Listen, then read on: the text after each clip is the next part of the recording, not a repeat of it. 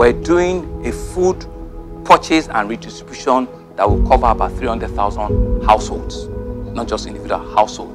That will have 10 kg rice, 5 kg gari, 5 kg beans, you know, and have other small, small things like tomato and rest of it in a combo bag. Under the Ounje Eko initiative, we have another 100,000 food combo boxes to be distributed to various groups and organizations. So you're talking about 435,000 families still be supported